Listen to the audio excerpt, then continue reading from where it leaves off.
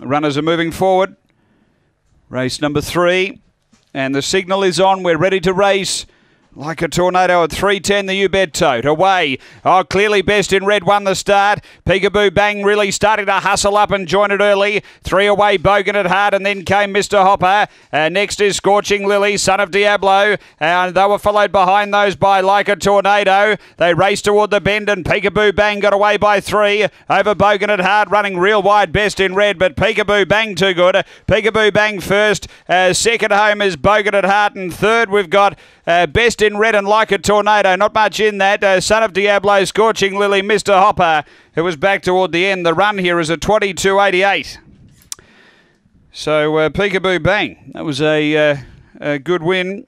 Number eight, uh, Peekaboo Bang for Ken Newland. A Black Dog, October 2013, Vapor World, Charlinda. It's 8 3 uh, 7 is third, Scorching Lily. Number seven and one is fourth like a tornado. It's eight, three, seven, and one here. Take note: eight, three, seven, and one. Number eight, Peekaboo Bang, Ken Newland, a Black Dog, October 2013, Vapor World, Charlinda, number eight. Uh, second, going to three, Bogan at Heart, uh, Kim Johnston, Brindle Dog, March 2014, Falcon Boganesque. And seven, Scorching Lily, Craig Yench, a Blue Bitch, June 2014, Collision Fine and Fancy.